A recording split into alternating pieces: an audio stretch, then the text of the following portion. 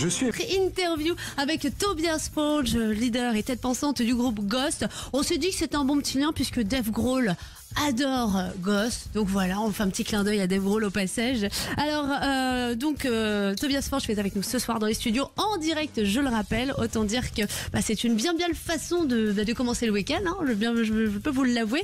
Euh, je voulais profiter de ta venue donc euh, dans les locaux pour prendre un peu des nouvelles de Papa Emeritus 4. C'est euh, donc le personnage que tu, euh, que tu joues sur, sur scène. Beaucoup d'auditeurs de WFM ont voulu savoir un petit peu ce qui se passait autour de, de Papa Emeritus 4 puisqu'il y a une vidéo qui est sortie dernièrement où on a l'impression qu'il est en mauvaise posture. Qu'est-ce qui va lui arriver à, à Papa Emeritus? Est-ce que tu peux nous donner un petit peu des infos?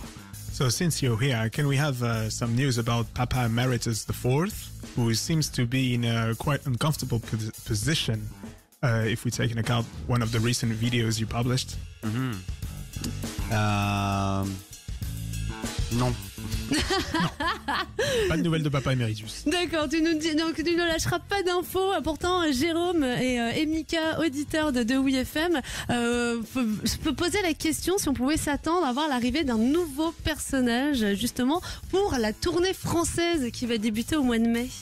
Some fans wondered if they could see a new character for the next French tour that's coming in the next months. Not not not in the way that they think. No. No, though. I mean, this. Uh, even though that we're uh, obviously changing things, but it's it's more from a practical point of view. Uh, this this tour that we're starting in in in, in Rouen in May, that it's the continuation of of uh, the Imperator. Alors, il n'y aura pas de nouveaux personnages de la manière dont ils le Ah, pensent. ok. Euh, il y aura des quelques petits changements, mais plus des changements pratiques.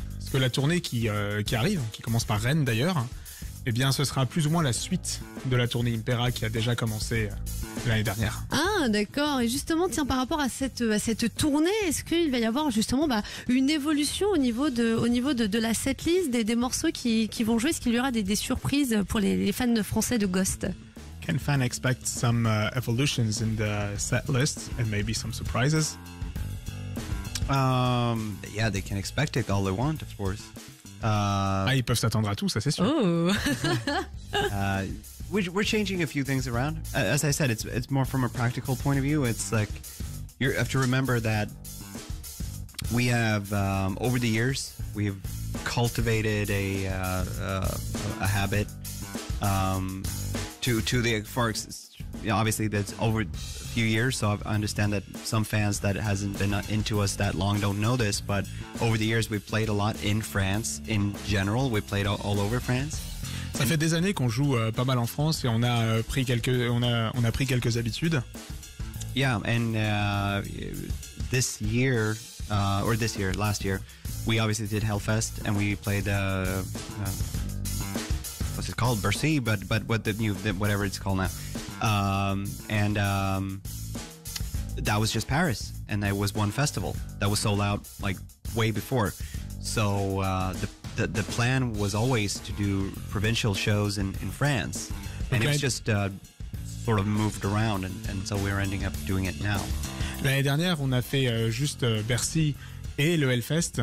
Donc c'était vraiment deux, deux, deux endroits euh, où les fans n'ont pas forcément eu tous eu l'opportunité de nous voir. Ouais. Et nous, on a toujours voulu jouer à travers la France. Donc c'est ce qu'on fait euh, là. Ah ouais, au mois de mai, hein, une Ouais. grosse tournée française qui s'annonce. Ouais, ça va être plutôt euh, pas mal du tout. Euh, je voulais rebondir tiens, sur une question que Marina nous a posée sur Instagram. Et franchement, Marina, bravo, ta question elle est géniale. Euh, elle voulait savoir si vous seriez partant avec Ghost, enfin si tu te sentirais de faire le concept du In Request que Metallica avait fait en 2004. Où en fait, ils avaient tout simplement euh, demandé aux fans quelle setlist euh, ils voulaient avoir euh, sur scène. Est-ce que toi, c'est un truc que tu pourrais faire avec Ghost? So a few years ago, Metallica did a by request tour in which uh, fans would submit the songs they wanted to hear live. Is it something Ghost might do? Possibly. Pas? No, but the thing is that uh, you know we always try to change things around, and now just because there has been a there there there are going to be a few changes. There might be uh, between now and then there might be new music. Just saying. uh, so that's going to be a it's going to be a little bit different. It's going to be uh, a, a, a different um, setup. Um, if we'd ever do a by request, uh, in a way, I, I wouldn't be against um, doing um, a um, a poll of, of what people want to hear, but on the other hand, it's like songs that we aren't playing regularly. There might be a reason for them not being played, uh, and and because of usually from a practical point of view that they're I, when I'm saying hard to play, that is not a dare to online YouTube guitar players saying like they're not hard at all. That's not the point. It's sometimes a song can be hard to play well, so it sounds good, so it feels good, so it fits well in the set. Alors il y aura quelques changements à la prochaine tournée. Peut-être euh, des nouveaux morceaux, on sait pas. Peut-être, Ouais. peut-être. On lâche ça comme ça. Euh, si on devait faire un by request à la manière de Metallica, peut-être qu'il pourrait y avoir un sondage où les, euh, les fans choisiraient leurs morceaux. Cela dit, si euh, certains morceaux sont rarement joués, voire pas joués du tout, c'est euh, c'est pour des raisons, des raisons pratiques. Ça veut pas dire que ces morceaux euh, sont spécialement durs à jouer. C'est pas un, un appel aux musiciens de, de me dire que ces morceaux sont pas durs à jouer. Mais il y a des morceaux qui sont pas seulement durs à jouer, mais durs à faire sonner de la bonne manière. I'm gonna add one thing. Just in the future, there might be an alternative that we've discussed, which is sort of part in my in part of in my mind, where it might come a time where we do a, a set that is completely different from the one that we have now, because then you can rework um, so that it's fluent with just the odd numbers. Et à l'avenir, à l'avenir, le, le set pourrait être complètement différent. On va peut-être complètement chambouler euh, le set et, euh, de, par rapport à celui qu'on joue habituellement. Et de cette manière, on pourra du coup jouer certains morceaux différemment et du coup en inclure d'autres. Ah, pas mal. Et euh, du coup, euh, avant de, finir cette, cette interview, puisqu'on va bientôt euh, devoir bah, quand même passer un petit peu de musique, il y a Joe du Morning Rock. Ça, pour le coup, tu peux le traduire. Joe du Morning Rock qui est un grand fan de, de Ghost et notamment de, de toi, qui m'a demandé de te poser une question justement par rapport à Papa Emeritus. D'après toi, quel est celui qui a eu le plus de succès sentimentalement parlant? Une question un peu coquine de la part de Joe.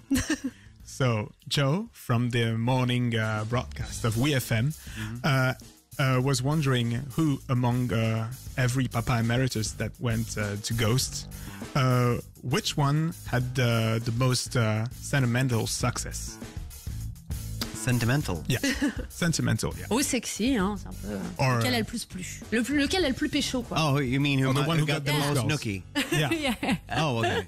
Uh, ooh, if I knew, uh, you know, savais. they don't kiss and tell. Ah, ils vont. So I, I, le disent I pas comme ça. no Ah. donc, ils, donc je sais pas. Ils le disent pas comme ça.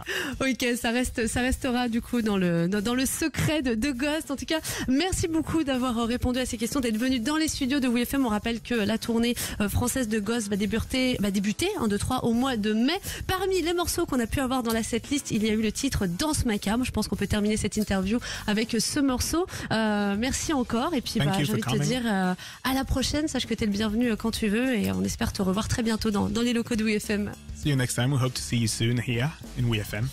Looking forward to it. Thank you very much for having me once again. It's really nice to see Yeah. you guys. oh, moi j'adore, moi. Des interviews comme ça, on en veut tous les jours.